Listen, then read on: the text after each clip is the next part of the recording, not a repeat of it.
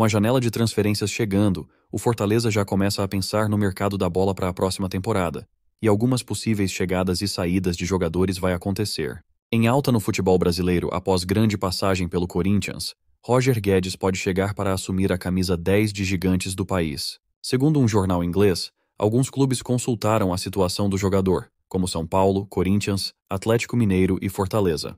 Jorge Nicola, jornalista especializado no mundo da bola, logo entrou em contato com o empresário de Roger Guedes para saber sobre a possibilidade de um retorno ao futebol brasileiro.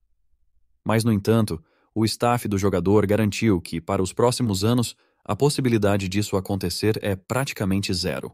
No Catar, Guedes tem um dos maiores salários da sua carreira. O Fortaleza venceu o Bragantino por 2 a 1 nesta quinta-feira, em Bragança Paulista, pelo Campeonato Brasileiro, com gols de Iago Pikachu e Caleb.